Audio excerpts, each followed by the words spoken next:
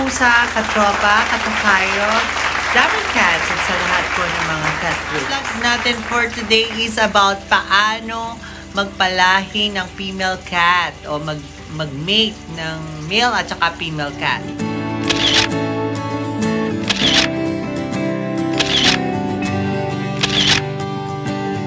Una po yon ang tawag sa female cat is queen. At ang tawag sa male cat ay Tom. So, pinaka-importante, number one po, bago natin ipalahi o ipamate ang ating female cat is in-heat po dapat ang ating female cat, ang ating queen. So, pinaka-importante po. Hindi po natin alam na in-heat ang ating female cat, watch po natin yung ating cat vlog number 2. Yon, six sign na in-heat ang ating female cat. Bakit po importante na in-heat ang ating female cat? So, kung hindi po in-heat o hindi naglalandi ang ating female cat, hindi po yan magpapalahi dun sa female cat or yung tom. Yung queen natin, hindi po siya magpapastad o magpapalahi dun sa tom na male cat kasi hindi po siya in-heat. At hindi naman po natin yan mapipilit. Hindi po natin makapusa pag hindi po inhit ang ating female cat. Hindi naman po natin yan mapipilit. Hindi po yan kagaya ng manok or... Ang pangalawa po, para maging successful ang ating pagmimate o pagpapalahi ng ating cats is number two, ay dapat nakakondisyon po ang ating male cat. Yung mga male cat natin, hindi naman kailangan in-hit yan. Anytime po yan, sasampayan at maglalahi.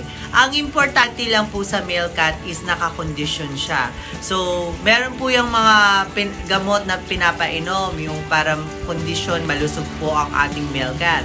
Meron po yung renal care na tinatawag para magiging aggressive sila sa pagpapalahi o pag Importante, number two is malusog ang ating male cat. So, nakakondisyon. Kasi kung may sakit po yan, malanggana, hindi po yan mag stud kahit anong gawin natin.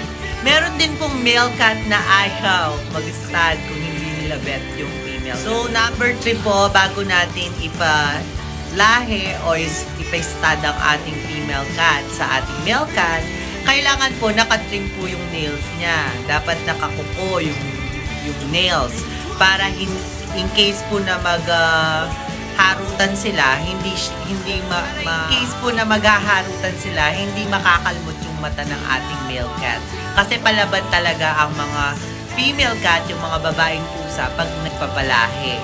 And kung hin- hindi nyo pa po napanood, panood po yung cat vlog number 5 natin, yung mga dapat i-ready o dapat malaman bago natin ipa-stud ang ating female cat bago natin ipalahi yung babaeng pusa natin. So, nandun po lahat yon So, pakipanood po yung ating cat vlog number 5. For naman po is alamin natin kung kailan siya uh, first day na nag-hit. Kung kailan yung araw na maingay siya, uh, parang um, balisa, yon yung mga sign na in heat. So, bilangin po natin yon Usually kasi first day, hindi pa yan magpapalahe, hindi pa yan bibigay. Second day, hindi pa. So, pag third day po, yun ang importante. Third day, fourth day yan. Bibigay na yan, mismong siya tutuwad at lalapit sa male cat. sa mga nagpapastad ng, uh, nagpapalahi ng female cat, kung idadalhin niyo po dun sa uh, male cat, dun sa bahay, uh, halimbawa dito sa amin, kung magpapastad kayo, kailangan po first day. Pag alam niyo na nag-hit yung cat nyo, dalhin niyo na siya dito para mailapit dun sa uh, male cat para makapag-adjust na siya sa environment dito po sa sa lugar. Kasi magiging masungit po yan. Don't forget to subscribe po sa ating channel kung meron kayong natutunan. And kung nag-enjoy kayo, yan, paki-like and share na rin po ang ating. Five naman po is huwag kagad pagsamahin yung male cat, yung male cat, halimbawa si Jasper, tapos yung female cat, ayan, hindi po sila pinagsasama kagad sa first day. Dapat meet and greet muna sila para makapag-adjust yung female cat. At saka sa first day po kasi mag-aaway lang yan, hindi naman sila mag-stud. Kasi mapapansin so, po natin pag nag-hit ang ating uh, female cat, wala yung ganang kumain. So, kung pagsasama natin sila, halimbawa pinagkasama sila sa isang cage, hindi po yan kakain. Magbabantayan lang sila. So, yung male cat hindi kakain, yung female cat hindi kakain. So, wala, walang, uh, walang kakain sa kanila talaga. Tapos, papayat po sila. So, yun, yun ang problema pag uh, pinagsama sila sa isang cage at the first day. Mas maganda po yung ganyan. Dito yung female cat, dito yung male cat. Magkatabi. Para naaamoy nila yung yung isa't isa. Yan. po sa female cat, maganda po na nandito na siya ng first day, second day. So, nakakapag-adjust na po siya dito sa cage, dito sa environment. At pag third day naman po, ayan. So, i- i- pwede na po silang ipagsama Number ng 6 po, yun po yung pag tumutuwad na yung female cat, na siya na yung lumalapit kasi mapapansin naman na magiging super bait po ng female cat pag in heat as in super bait yan. Tapos, third day, pagsasama na po sila or fourth day, pag bumibigay na yung babaeng pusa. Isasama na po siya hanggang maging successful yung uh, mating nila o yung pagpapalahi. Pero, meron pong mga female cat na ayaw nila na nasa cage. So, gusto nila naka, nasa isang kwarto, maluwang, yung naghahabulan sila. Yung habulin mo ako, para, para ganun po. So, gusto po ng ibang cat talaga na female ganon. Yung maluwang yung yung Parang lugar. ganito po. Pag, uh, halimbawa si Mocha, nag-hit, yan, lalagay ko po siya dito kay, kay Jasper. So, pagkatapos pong nalahi ni Mocha, ibabalik ko na siya. Halika, Mocha. Pagkatapos pong nalahi ni Mocha, ibabalik ko na po siya dito. Dito sa kabilang. Kasi, so bakit ko po ginagawa yon Yung pagkatapos na stud ni, o nalahi ni Mocha kay Jasper, babalik ko na siya dito. Kasi po, hindi ko siya binababad kay Jasper.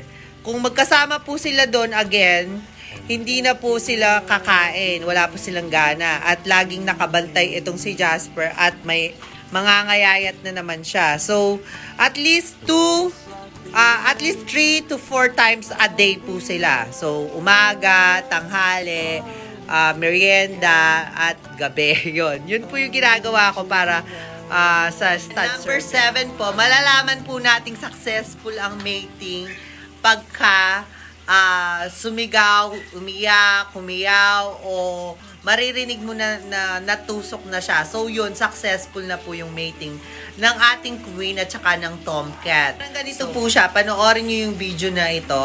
So makikita nyo na successful ang pagme-mate nila ng tom at saka Number 8 po, dun sa nabasa ko na kailangan within 24 hours, within 24 hours, nakapag uh, nakapag-mate na po sila, nakapag uh, nakapag-stud na yung male cat ng 2 uh, 3 to 4 times po. So, tatlo hanggang apat na beses na stud. Tapos, hiwalay po. So, every time na may stud sila, uh, malahi yung female cat. Sa stud service po, yun po yung ginagawa ko. At least, 3 to 4 times a day po sila. Morning, lunch, at saka po ng hapon. Which is successful po. Lahat po ng mga nag nagpastad kay Jasper, kay Blue, kay Sir Cloud, yan, successful po na buntis ang mga uh, female cat na pinalahi nila. Pag pinay-stud po, number 9 is yung uh, tatlong araw na sunod-sunod na ipapay-stud. So, halimbawa, first day, umaga, tanghali, hanggang gabi. So, second day, ganun din po, umaga, tanghali, hanggang gabi. And then, third day, umaga, tanghali, hanggang gabi. Tapos, pwede na po siyang kunin the next day dun sa mga nagpapastad. At dun sa mga gustong mag magpalain ng kanilang pusa. Ganun po yung ginagawa naming pattern, which is successful naman po. Si Daddy Jasper nakapagpalabas po ng up to 3 to 9 kitten po yan. Depende pa rin po sa inyong female cat kung nakakondisyon talaga. Laman po sa stud service, uh, kay Daddy Jasper. Eh, si Daddy Jasper po kasi yan, naka-condition po. Meron po siyang pang renal care. So, yung renal care is yung pa- para sa uh, condition sa pantog niya para laging ready. So, yan, meron po siyang renal care. Dalawa po yung iniinom niya for fertility at para iwas sa uh, UTI, ganyan, at saka STD. Yung tanong po na magkano po ba ang stud service o palahe kay Jasper. So yun, depende po sa female cat nyo. Kung exotic ba yung cat nyo, and exotic siya, so pure exotic lalabas. And kung exo Persian, tapos per, uh, exotic si, si Daddy Jasper, pwede din po siyang maglabas ng exotic. Eh kung per, Persian lang po, yung female cat nyo is exo Persian po ang labas ng inyong mga kitten. So, depende po kung ano yung female cat nyo sa uh, sa stud P o sa palahe. Yung tanong naman po na share kitten, hindi na po ako nagpapa-share kitten para walang uh, conflict o wala pong uh, lamangan sa unfair naman po kasi sa my owner ng ng female cat kung isa lang yung cat yung kitten, yung anak niya, eh, bibigay pa sa akin. Napaka, sa akin po kasi napaka-unfair naman kung ganon. Tapos, ayoko din po kasi may masabi sila sa akin. So, mas maganda na pong, kung sa akin, sa side ko, mas okay na pong magbayad na lang ako ng stud fee kesa sa share kitten. Kasi, kung uh, bebenta mo yung kitten, mas malaki pa dun sa uh, ibabayad. Kung meron pa po kayong ibang mga tanong or inquiries na hindi ko nasagot, na hindi na-cover sa ating vlog, pwede nyo pong i-comment sa baba. Or kung meron po, meron po kayo natutunan sa ating uh, vlog today, and kung nagustuhan nyo po is paki-like and share na lang po. And uh, don't forget po to subscribe our channel para madagdagan. And um, thank you for watching my uh, vlog to everyone. And keep safe po tayo lagi.